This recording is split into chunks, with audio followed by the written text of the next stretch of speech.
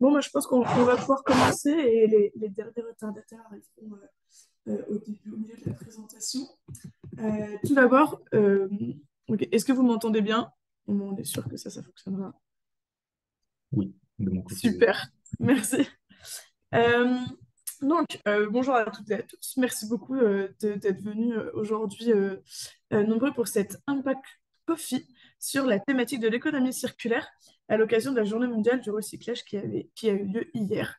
Alors, euh, l'objectif de ce webinaire, c'est de mieux comprendre qu'est-ce que l'économie circulaire pour une entreprise, euh, avoir des pistes sur comment l'intégrer à son modèle d'affaires et sur comment intégrer ses collaborateurs. Euh, alors, je, vous dis tout de suite, il y aura une, question de, une session pardon, de questions-réponses à la fin du webinaire. Donc, n'hésitez pas à poser vos questions dans le chat et on y répondra, on y répondra à la fin. Euh, donc, je me présente, je m'appelle Victoria, je suis euh, responsable RSA chez NOS.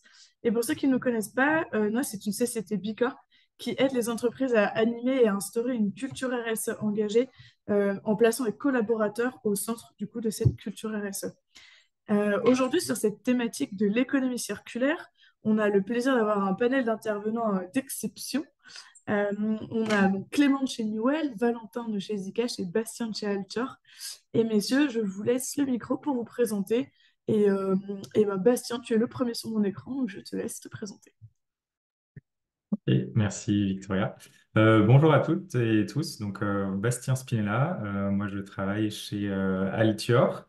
donc chez Altior, on est des spécialistes de la conception et la fabrication d'objets, de produits.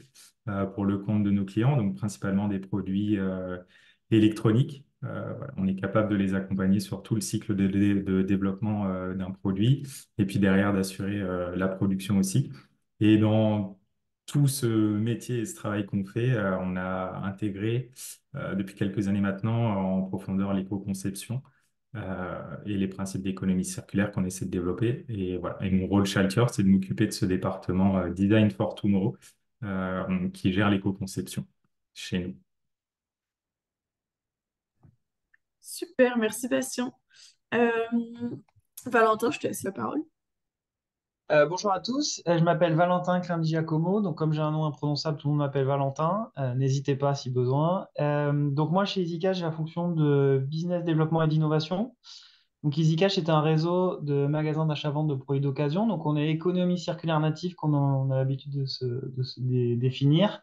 Donc on existe depuis 2001, on a 140 magasins en France, 1500 collaborateurs. Et notre métier, donc, c'est d'acheter des produits à des particuliers et de revendre ces mêmes produits d'occasion euh, à d'autres particuliers, donc à travers notre réseau de points de vente. Donc juste pour situer, EasyCash, ça fait 270 millions d'euros de chiffre d'affaires, 1500 collaborateurs et 140 magasins. Merci Valentin. Et euh, Clément, c'est parti pour toi. Et euh, du coup, euh, moi je m'appelle Clément Suskin, je travaille chez Newell en tant que chargé de la rédaction de programmes pédagogiques, également comme consultant en développement durable. Newell est du coup une entreprise à mission dont la raison d'être est d'aider les entrepreneurs à relever les défis sociaux et environnementaux sans faire l'économie du profit. Et on intervient du coup dans des entreprises de toute taille et de tout secteur entre Lille et Paris. Super clair, merci à tous. Et, euh, allons-y euh, pour euh, plonger dans le sujet de l'économie circulaire. alors Clément, je te laisse nous, nous, expliquer, voire nous rappeler pour certains, dans les grandes lignes, qu'est-ce que l'économie circulaire? Avec plaisir. Donc d'abord, avant de rentrer dans le cadre de ce que c'est que l'économie circulaire, il convient de comprendre ben, quelles sont les limites aujourd'hui du modèle linéaire. Donc on a une image pour ça qui est assez parlante, euh, qui est que dans l'état actuel des choses, on aurait besoin de l'équivalent de trois planètes pour, euh, pour venir et satisfaire à l'ensemble des besoins de la population mondiale si tout le monde euh, aujourd'hui sur la planète avait le même niveau de vie que les Français. Qu'est-ce que ça veut dire? Ça veut dire que notre niveau de consommation empiète sur la capacité de la planète et des ressources naturelles à se régénérer. On a une autre image pour ça qui est importante à tenir en compte, qui est celle des limites planétaires, euh, qui est du coup un concept, euh, je veux bien que tu euh, changes de slide, donc celle des limites planétaires, qui est du coup une notion importante introduite par un chercheur qui s'appelle John Rockstrom, qui travaille avec le Centre de recherche sur la résilience à Stockholm. et qui montre qu'aujourd'hui, il conviendrait de respecter un certain nombre d'équilibres si on souhaite que la planète continue à demeurer habitable. Or, ce dont on se rend compte, c'est que le système économique actuel enfreint un certain nombre de ses limites. Aujourd'hui, il y a environ six limites systémiques qui sont dépassées, dont notamment les limites en termes de euh, niveau de réchauffement climatique. On a aussi des limites en termes d'extinction de la biodiversité, euh, des limites aussi en termes d'introduction de substances polluantes et persistantes dans l'environnement. Donc toutes ces limites planétaires nous montrent euh, à quel point le système économique actuel est en train de perturber la capacité de notre planète à demeurer habitable et du coup nécessite des transformations culturelles, technologiques profondes. On distingue donc deux modèles euh, d'un côté ce que l'ADEME définit comme étant euh, l'économie linéaire, donc une économie qui passe simplement de l'extraction des ressources à la production de déchets. Donc on l'a ici représenté sur le graphique, on extrait des ressources euh, naturelles, des matières premières, on produit un produit qui est lui-même jeté en fin de vie. Et au fur et à mesure du cycle de production, ben, des déchets sont émis à plusieurs niveaux. par exemple, il peut y avoir du gaspillage en termes de matériaux et en fin de cycle, le produit est lui-même considéré comme un déchet. Il convient donc en fait de penser à un système alternatif euh, qui viserait à changer de paradigme pour limiter le gaspillage des ressources et en même temps limiter l'impact environnemental et social euh, des activités de production et de consommation. Et c'est ce qu'on appelle l'économie circulaire. Euh, l'économie circulaire qui est représentée ici, du coup, repose sur cinq grands principes le fait de refuser, le fait de réduire, de réutiliser, de rendre à la terre, également de recycler. Euh, on prend bien compte aujourd'hui que l'économie circulaire va répondre à la fois à une nécessité environnementale, à une nécessité éthique, mais on a aussi de plus en plus de la part des gouvernements d'obligations légales qui visent du coup à favoriser cette innovation et ces changements culturels dans le cadre des organisations. Je peux ici euh, laisser la main à Valentin qui a une anecdote amusante euh, au sujet de l'économie circulaire. Oui, tout à fait. Donc chez Zcash, on achète et vend des produits notamment technologiques et sur ces produits, la loi nous oblige à renseigner le numéro de série du produit de manière à pouvoir avoir une traçabilité sur ce produit, notamment éviter les risques de recel. Et nous, chez Zcash, on s'est amusé à regarder finalement combien de fois le même produit on pouvait le voir. Et j'ai une petite anecdote, c'est que chez Zcash, il y a notamment un produit qui m'a beaucoup marqué, c'est un iPhone 4S qu'on a acheté comme un smartphone euh, à l'époque quand il est sorti. Donc peut-être qu'on l'a acheté 500 euh, euros pour le vendre 600 euros. Et sur ce produit, finalement, on a fait 8 transactions. On l'a racheté 4 fois et revendu 4 fois.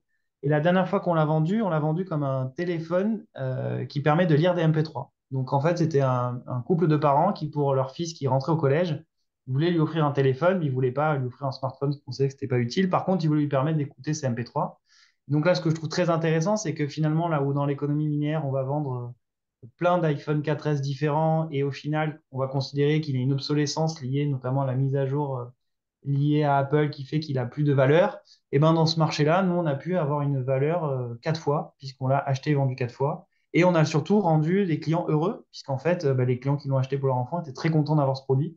Donc ça, je trouve très intéressant, c'est que ça montre qu'on peut faire à la fois un business qui soit vertueux et fructueux, qu'il faut surtout pas les opposer. Nous, on en est la preuve. Euh, donc, si on peut, à notre petit niveau, faire ce partage d'expérience pour vous inciter et vous donner des envies d'y aller, on est très content de participer à ce webinaire. Merci, Valentin. Euh, euh, donc ça, c'est pour l'introduction de l'économie circulaire. Merci Clément pour avoir remis un peu de contexte pour tout le monde. Et, et là, on va passer à concrètement, ça ressemble à quoi en fait l'économie circulaire dans une entreprise? Donc euh, je vais peut-être commencer par toi, Valentin, parce que euh, l'économie circulaire, c'est vraiment le, cœur de, l'entreprise EasyCash. Et ensuite, euh, ensuite preneuse de, ton point de vue, Bastien, sur, par rapport à Altor, parce qu'il y a à la fois l'économie circulaire dans, chez Altor, mais aussi tout ce que vous faites par rapport à vos clients. Donc, je te laisse peut-être commenter, Valentin, quand même.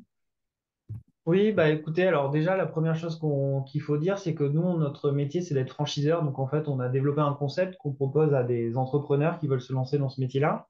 Et donc, ce concept, forcément, il faut, encore une fois, je reviens sur ce que j'ai dit, qu'il soit vertueux et fructueux, parce que sinon, ils ne pourraient pas se lancer dans cette activité. Et EasyCash, avec aujourd'hui euh, plus de 140 magasins, montre que c'est quelque chose qui est possible. Donc, évidemment, il, y a des, il faut se faire accompagner, il y a des freins, il y a des obstacles, mais en tout cas, c'est tout à fait possible et faisable. Nous, aujourd'hui, typiquement, pour vous donner un ordre de grandeur, on a, on a reconditionné et revendu plus de 300 000 smartphones l'année dernière. Et il n'y a encore pas si longtemps, on était une brocante améliorée. Donc, c'est pour vous dire qu'en fait, on peut tout à fait évoluer, on peut y arriver. Et encore une fois, c'est un marché qui est naturellement en croissance. Donc, c'est un marché quand même qui est porteur.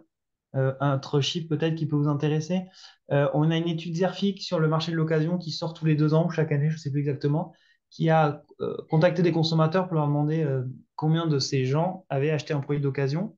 Et ce qui est intéressant, c'est qu'en 2023, il y a 54% des gens qui déclarent avoir acheté un produit d'occasion et ils étaient 44% l'année précédente. Donc ça veut dire qu'on a 10 points d'augmentation de la consommation sur ce type de biens. Donc ça montre bien qu'il y a aujourd'hui des consommateurs de plus en plus euh, sensibles au sujet et qui commencent donc à se détourner de l'économie linéaire vers l'économie circulaire. Donc il y a un vrai enjeu aussi pour les entreprises pour demain dans leur, dans leur business model. Euh, voilà ce que je peux vous dire dans les grandes lignes. Après, c'est compliqué de rentrer dans le détail. Un autre élément aussi, quand je disais que c'était un business qui pouvait être vertueux, euh, parce que l'important c'est d'avoir des chiffres. Euh, on vient de faire, on est en train de finaliser, là, on a quasi terminé notre bilan carbone scope 3 et on s'aperçoit que aujourd'hui nos activités dégagent du CO2, mais elles sont totalement pour l'instant compensées par le fait qu'on arrive à redonner une seconde vie au produit, qu'on évite de consommer en neuf, puisqu'on a demandé à nos clients est-ce que quand ils viennent chez nous, c'est pour remplacer un achat de produits neufs ou pour de la surconsommation? Donc, il y a une majorité de nos clients qui viennent pour remplacer euh, l'achat d'un produit neuf. Et donc, on arrive aujourd'hui à être, euh, alors il faut que je fasse attention à mes termes, puits de carbone, c'est un peu exagéré, mais en tout cas, on est euh, à, zéro entre nos dépenses carbone et ce qu'on arrive à les faire économiser. Donc, ça montre que ça peut vraiment être une solution demain pour, pour notre planète et que si on arrive à éviter qu'un client achète un téléphone, je prends l'exemple du téléphone qui parle à tout le monde neuf, et qui peut l'avoir en deuxième main, bah, c'est un vrai enjeu au niveau de la consommation des matières premières, les problématiques logistiques, les problématiques de fabrication, euh, tout ce qui est pollution également euh, induit par l'extraction notamment des minéraux euh, rares. Donc, donc voilà, donc moi j'ai qu'un conseil à vous donner, allez-y, faites-vous accompagner, c'est possible, ça marche et encore une fois, vous pouvez avoir un business qui vous permette de gagner décemment votre vie tout en faisant pas de mal à la planète peut-être pas, pas dire qu'on lui fait du bien, mais en tout cas, on ne lui fait pas plus de mal. Et ça, c'est déjà un très bon début.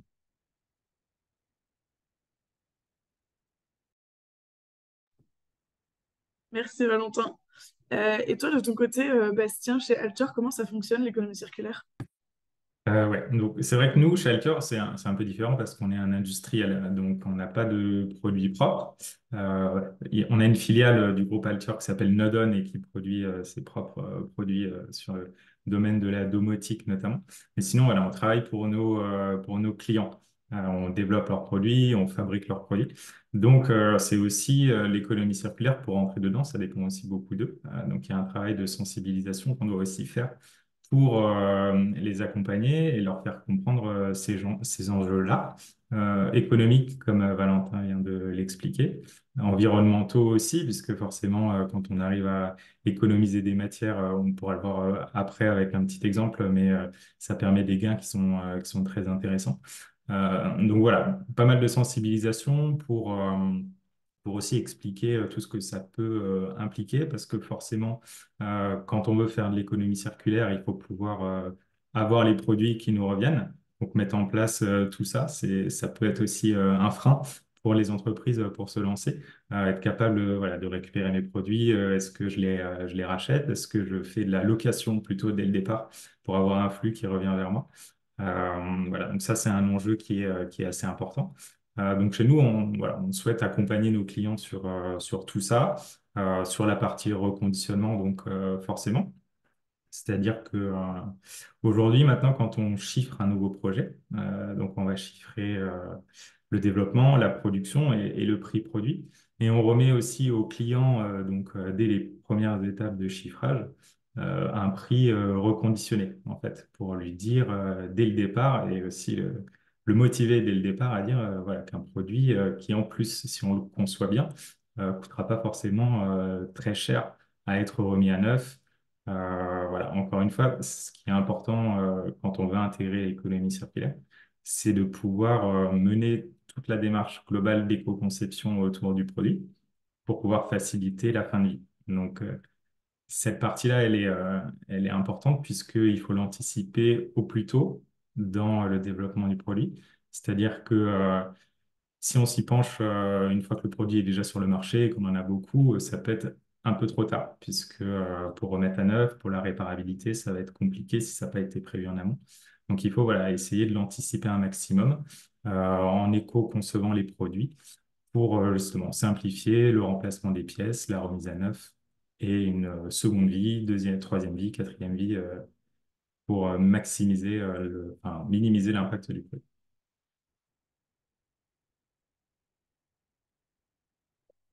Euh, ouais, là, je peux enchaîner. Donc, sur cet exemple qui est une, télécommande, euh, un, bouton connecté, donc euh, Nodon, qu'on fait, fait chez Altior.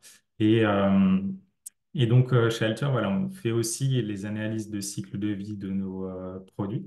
Donc, on s'est formé en interne pour mener à bien les, démarches d'éco-conception. C'est important de pouvoir aussi faire les calculs pour, pour définir les leviers les plus intéressants et, ceux avec un impact euh, le plus pertinent possible. Et quand on fait des analyses environnementales euh, de, euh, la remise à neuf, par exemple, ben on se rend compte que les, gains, ils sont très forts. et ça pour une raison qui est, qui est assez évidente, en fait, quand on regarde dans le détail ce type de produit. C'est que sur un produit comme ça, assez simple, on a donc une carte électronique à l'intérieur. Euh, et puis des pièces plastiques. Donc c'est ce qu'on appelle euh, chez nous un, produit simple, deux coques plastiques, euh, une carte électronique. En fait, une grande partie de cet impact, il va provenir de l'électronique. comme Valentin l'a cité aussi juste avant, l'électronique, c'est beaucoup de métaux précieux, des terres rares, donc des, des, matières qui ont un impact environnemental important pour leur fabrication, pour leur extraction, euh, etc. Donc voilà, ça, ça génère énormément de pollution. Donc quand on prend ça en compte dans notre calcul, ça va avoir un, impact qui est, euh, qui est très fort. Et en fait, l'électronique, euh, c'est fait pour, enfin, ça peut durer 10 ans en fait. Souvent, les produits, la durée de vie est très faible parce qu'il y a une obsolescence, il y a un renouvellement qui se fait chez le client. Il y a des fois une petite pièce euh, plastique qui peut être fendue et on va le mettre à la poubelle, alors qu'en fait, euh, derrière, euh, tout est encore fonctionnel. donc, on a, on jette tous les jours des dizaines, des milliers de produits qui sont encore fonctionnels ou à 90% fonctionnels. on les met à la poubelle et derrière, la valorisation, elle est extrêmement faible sur ce type de produit. Donc, si on se dit qu'on se met dans un mode où on arrive à récupérer ce produit, et plutôt que de le laisser partir à la poubelle, on va le récupérer, on va remplacer, euh, par exemple, dans ce cas-là, euh, les pièces plastiques. C'est ce qu'on a considéré sur notre étude. On remplace les pièces plastiques, mais on conserve l'électronique qui, lui, est fonctionnel, euh, encore une fois, dans une grande, grande partie des cas sur la fin de vie produit. et donc, quand on sauve l'électronique, forcément, on arrive à sauver la part majoritaire des impacts de, mon produit. Donc, ça nous fait des gains qui sont extrêmement intéressants. Donc voilà, c'est une modélisation un peu un peu global, on va dire, de, ce cas-là, qui n'est pas le même selon les, typologies de produits. Mais voilà, ça permet vraiment de dire qu'aujourd'hui, euh, pour réduire l'impact environnemental d'un produit électronique, euh, le recyclage de l'électronique n'est pas encore euh, assez mature pour permettre d'imaginer des boucles long terme avec, avec de l'électronique. Il faut vraiment miser sur la durabilité des produits. Que ce soit produit sur sa première vie, essayer de le faire tenir le plus longtemps possible, mais imaginez euh, comment il va être utilisé une deuxième fois, une troisième fois, pour vraiment que l'électronique puisse avoir une vie euh, très longue. Et l'exemple de Valentin sur, sur l'iPhone, qui en plus a un changement d'usage sur, sur les dernières vies, est, hyper intéressant. Merci Bastien. Euh, donc, en termes de premier pas, on a parlé d'analyse de cycle de vie, de démarche d'éco-conception. On peut aussi agir sur la politique d'achat responsable. Euh, Clément, est-ce que tu peux nous en parler un peu plus? Oui, complètement. Euh, nous, du coup, dans le cadre de notre accompagnement vis-à-vis de nos clients, on remarque que très souvent, une partie importante de l'impact environnemental peut provenir des achats. Et euh, il y a plusieurs manières dont une entreprise peut se mobiliser sur cet enjeu. Nous, on intervient du coup dans l'accompagnement à la fois stratégique et opérationnel dans plusieurs secteurs. Et du coup, j'ai choisi un petit peu deux exemples pour vous expliquer comment la chaîne d'achat elle peut accompagner l'entreprise dans ces changements, mais aussi transformer autour d'elle un petit peu tout l'écosystème de, de, partenaires et les relations euh, qu'elle a. Un premier exemple, du coup, c'est une entreprise, par exemple, dans le secteur agroalimentaire, euh, qu'on a accompagné pour mettre en place une charte des achats, donc qui va lister un certain nombre de comportements écologiques, sociaux, qui sont attendus de la part de ses fournisseurs. Euh, et par exemple, on a pu travailler sur la mise en place de critères autour, par exemple, de l'éco-conception d'emballage, le fait, euh, quand on a des fournisseurs alimentaires, de les questionner un petit peu sur qu'est-ce qu'ils font pour empêcher le plus possible d'utiliser des, des contenants, par exemple, à usage unique, euh, de questionner aussi ses fournisseurs à travers une enquête sur euh, le potentiel gaspillage alimentaire qui peut avoir lieu ou bien sur euh, l'ancrage des fournisseurs dans le cadre de leur territoire et potentiellement la mise en place de circuits courts. En fait, on comprend rapidement que l'économie circulaire, elle fait intervenir l'entreprise, mais aussi ses partenaires, son territoire, et que par exemple, un dispositif assez simple, comme le fait de mener une enquête auprès de ses fournisseurs, va permettre à l'ensemble de la chaîne de production de de s'améliorer et inciter chacun à, agir sur euh, les enjeux sociaux et environnementaux. Un autre exemple qu'on a qui fait plus intervenir un partenariat avec une structure de l'économie sociale et solidaire, c'est une grande entreprise de l'événementiel, euh, donc qui utilisait pas mal de matériaux, de décors, de moquettes pour euh, les événements et qui travaille aujourd'hui avec une association en charge de revaloriser les matériaux en fin de vie. Et cette association, elle mène des chantiers d'insertion. Euh, c'est-à-dire que c'est des personnes qui sont traditionnellement éloignées de l'emploi, euh, qui vont intervenir pour euh, ces matériaux en fin de vie, arriver à les revaloriser.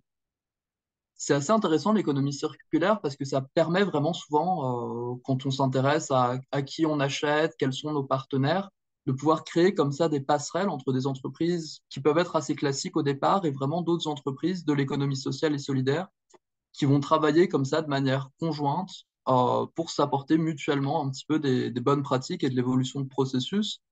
Il faut savoir que l'économie circulaire, en fait, euh, parmi les premiers, il y a vraiment eu des économies à forte vocation sociale, enfin des entreprises, pardon, à forte vocation sociale, comme euh, les ESAT autour du reconditionnement, par exemple, de téléphones, d'ordinateurs. C'est notamment des personnes en situation de handicap qui peuvent travailler et l'économie circulaire permet comme ça en fait de développer des partenariats entre entreprises pour promouvoir en fait une nouvelle vision de, euh, de, euh, de l'entrepreneuriat, de la relation de travail.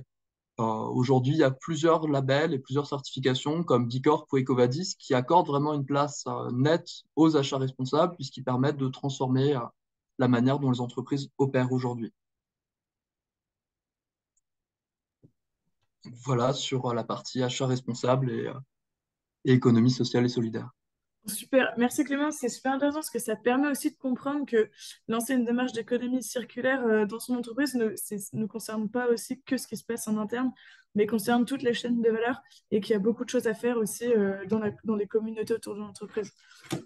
merci. Est-ce que, que vous auriez un conseil supplémentaire à donner à une entreprise qui décide de, de se lancer dans l'économie circulaire, de, l'intégrer dans son, modèle d'affaires. Est-ce que vous auriez euh, un ou deux conseils supplémentaires à donner?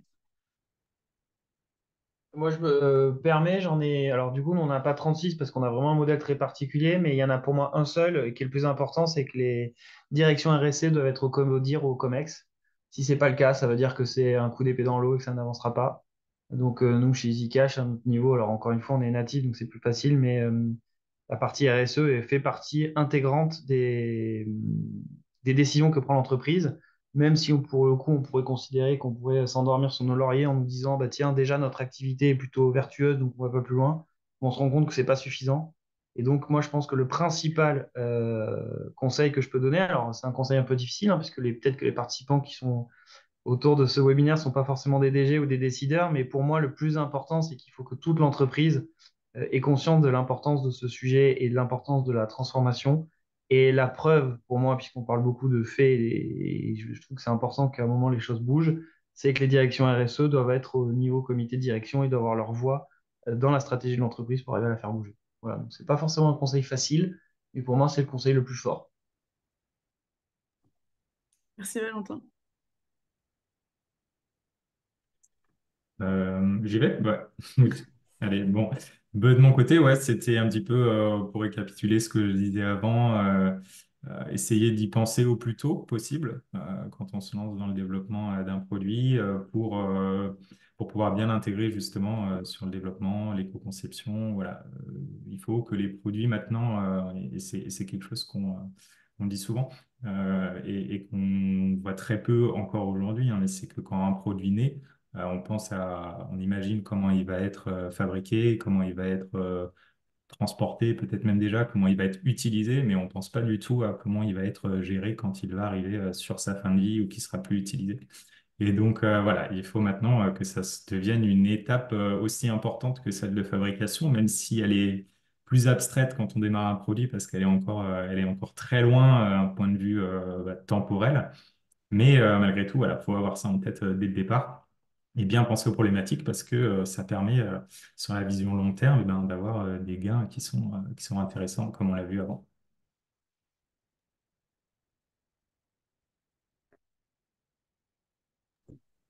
Merci Bastien. Ouais, Clément, tu veux dire quelque chose? Hum, mais je pense qu'on va en parler juste ensuite, mais il y a aussi la question de comment est-ce que cette économie circulaire va permettre un petit peu de, de s'inscrire dans le corpus de, valeurs de l'entreprise, comment elle va venir irriguer un petit peu toute la culture, créer aussi des moments de, partage collectif, de découverte de belles histoires d'entreprises inspirantes, de vraiment venir, de devenir vraiment presque un élément de, motivation et de fierté des, salariés au sein de l'entreprise. Donc il y a aussi un travail effectivement de, communication, de créer le plus possible euh, d'événements, de rassemblements, d'engagement euh, des salariés autour de ces thématiques écologiques et sociales. Ah oui, super, tu me permets d'introduire la, dernière partie euh, de ce webinaire. C'est euh, un sujet que, qui n'est pas forcément le premier auquel on pense en général, mais c'est vrai qu'intégrer l'économie circulaire, ça, ça, touche quand même une grosse partie de l'entreprise en général, euh, voire jusqu'au modèle d'affaires. Et on a tendance un peu parfois à mettre de côté l'engagement de tous les collaborateurs. Pourtant, c'est un vecteur qui permet d'adopter d'adopter ces, changements importants en interne. Euh, est-ce que Clément, tu peux nous dire un peu euh, pourquoi est-ce que c'est important d'intégrer justement, tu, as commencé à le dire, mais euh, pourquoi est-ce que c'est important d'intégrer tout, le monde en fait à cette démarche et à ce changement en interne? Et euh, je pense qu'après, euh, bah, Saint-Valentin, on pourrait peut-être parler aussi du fait que, alors et Altor sont toutes les, ont toutes les deux une raison d'être qui touche à l'économie circulaire. Euh, peut-être Bastien, tu pourras mentionner aussi le fait, enfin la société à mission, mais ça peut être un vecteur pas mal, enfin assez important pour pouvoir intégrer tout le monde en fait. Effectivement, ce dont on se rend compte euh, pour la plupart des entreprises qui décident euh, résolument de s'engager dans le cadre de la transition sociale et environnementale, c'est qu'il y a la question un petit peu de euh, comment est-ce qu'on crée de l'engagement de la part des collaborateurs. Parfois, le un peu, enfin la stratégie, pardon, la transition environnementale et sociale va introduire un petit peu une évolution dans le cadre de la stratégie de l'entreprise, dans le cadre de la manière dont les métiers ont pu être faits euh, va y avoir de nouveaux objectifs qui vont s'ajouter à l'entreprise, qui sont plus simplement des objectifs économiques, mais aussi des objectifs euh, environnementaux et sociaux. Et euh, il y a vraiment la question du coup de comment est-ce qu'on crée une dynamique d'engagement dans le cadre de l'entreprise. Il y a plusieurs éléments de réponse, à la fois effectivement des, mener des formations, faire de la sensibilisation, créer aussi des, des, communautés, permettre aux collaborateurs de se regrouper partir de, différents groupes pour discuter de ces sujets-là et également mettre en place euh, et euh, évaluer les, processus qui sont mis en place dans l'entreprise. La formation et les dispositifs de sensibilisation ils vont être fondamentaux donc pour permettre l'acceptation du changement écologique à mener euh, et pour que le plus d'employés possible deviennent vraiment acteurs et actrices de changement.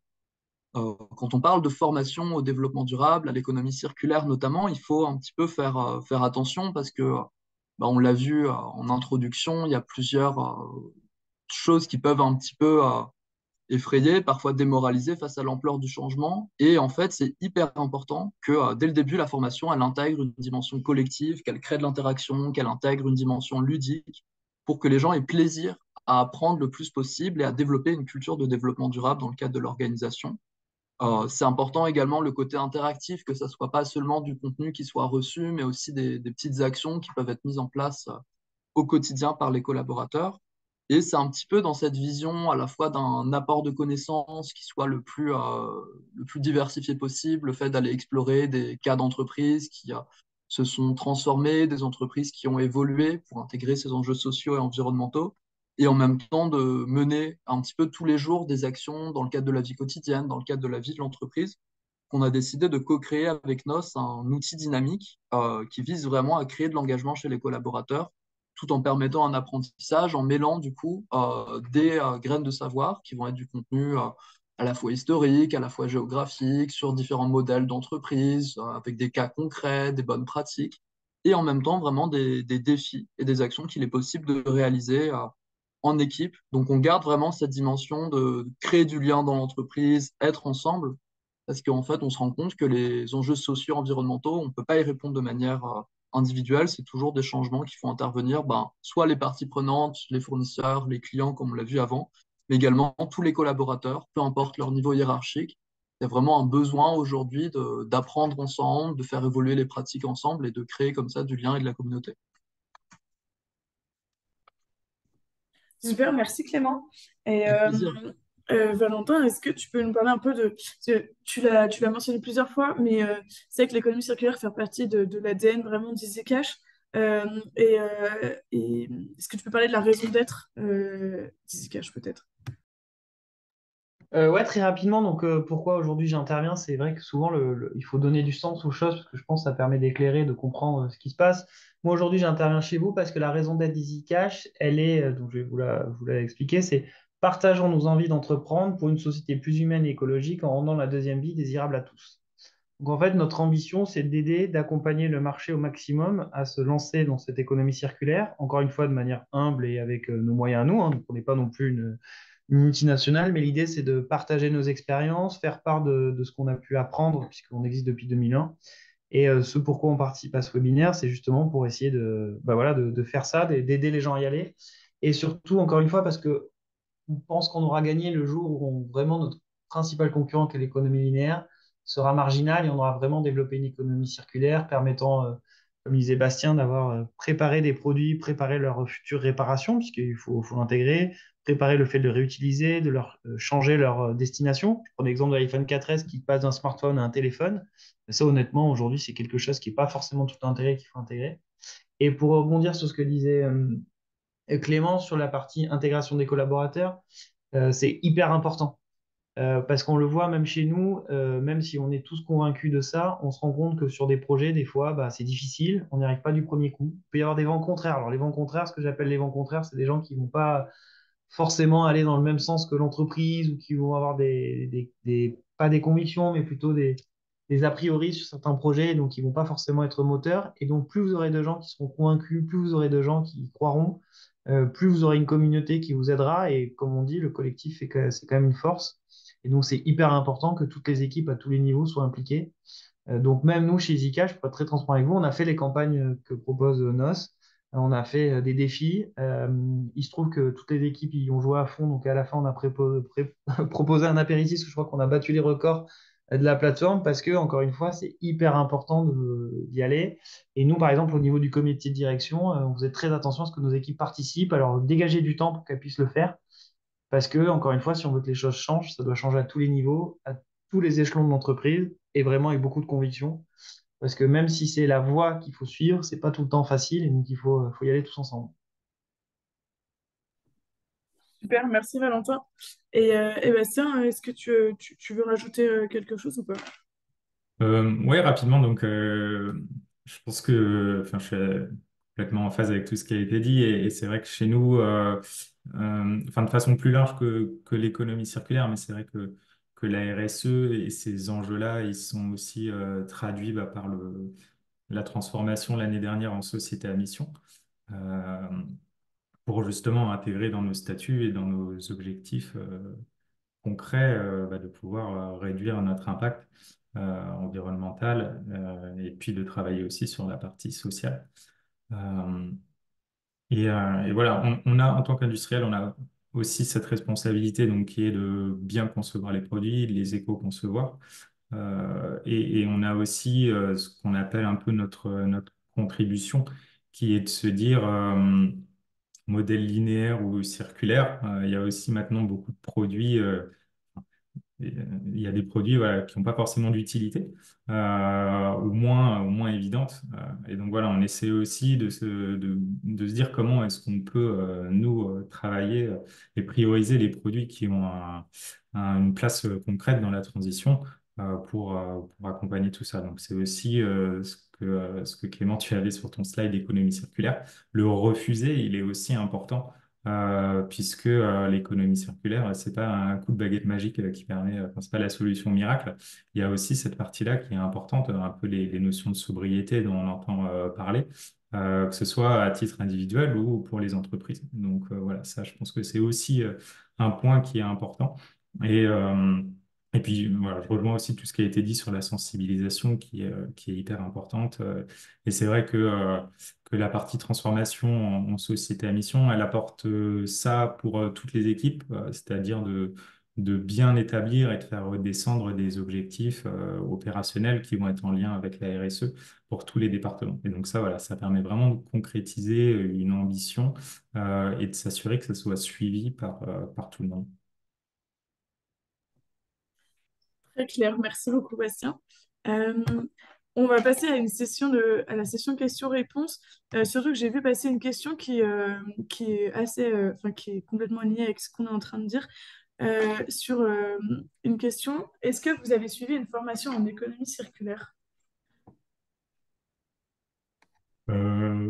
De notre côté, euh, oui, on va dire qu'on a suivi des formations euh, autour de l'éco-conception, par exemple. Donc, c'est souvent des notions qui sont liées et qui sont, euh, qui sont abordées dedans. voilà, on échange aussi pas mal dès qu'on peut avec les organismes, l'ADEME, par exemple, qui fait aussi beaucoup de choses autour de, de l'économie circulaire. Donc, euh, ouais, il est possible de se former pour en, apprendre plus euh, sur, euh, sur l'économie circulaire. Nous, on a développé chez Newell une formation sur l'économie circulaire. On a beaucoup travaillé avec une association qui s'appelle Cité de l'environnement et qui a développé comme ça une, une grande exposition à la fois sur la pression sur les limites planétaires et aussi tous les différents types d'innovations sociales, environnementales, économiques qui existent autour de l'économie circulaire. Et euh, effectivement, il existe plein de, plein de formations, plein d'ateliers. Il y a Circulab aussi qui propose un jeu de plateau euh, autour de l'économie circulaire. On voit vraiment que les modalités de sensibilisation, de formation sont euh, extrêmement nombreuses sur, sur ces sujets-là et permettent vraiment de, de s'immerger aussi progressivement. Super. une autre question. Est-ce que... attends. Est-ce qu'il existe des aides de l'État pour se lancer dans l'économie circulaire en tant qu'entreprise? Je, pense que du côté de l'ADEME, il doit, il doit exister des programmes qui, euh, qui permettent de financer euh, des, soit des études, soit même de la mise en application. ils ont pas mal d'aides, je sais, autour de l'éco-conception aussi. Et je pense que l'économie circulaire rentre aussi dans, dans tout ça. Vous avez en ce moment un appel à projet euh, justement sur l'ADEME autour de l'économie circulaire qui s'appelle France 2030. Dans le cadre de France 2030, vous avez notamment une partie qui s'appelle Économe. Et sur le guichet Économe, vous avez pas mal d'aides sur justement euh, la technologie, réduire l'impact de la technologie, donc autour des produits, autour de solutions numériques aussi. Et ensuite, vous avez pas mal d'aides régionales aussi. Alors là, pour le coup, pour être très transparent, par exemple, chez Zika, nous sommes accompagnés par des cabinets spécialisés dans la gestion des aides et des subventions, parce qu'honnêtement, c'est un peu un maquis. Mais il y a quand même pas mal d'initiatives et de plus en plus de possibilités d'avoir des aides. Il y a la BPI aussi qui aide. Enfin, il y a vraiment pas mal de, solutions.